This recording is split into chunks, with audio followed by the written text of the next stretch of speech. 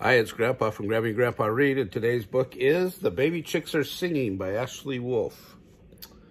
The baby chicks are singing, beep, beep, beep. The baby chicks are hungry and are too cold to sleep. The mother hen, she looks and looks for corn and wheat and warms them as they eat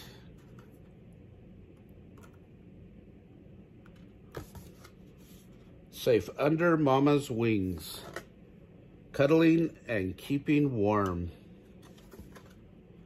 The baby chicks can sleep safe and sound till morn. Hope you are having a great day. Remember to uh, smash the like button down below and, and subscribe to our uh, channel. Thanks.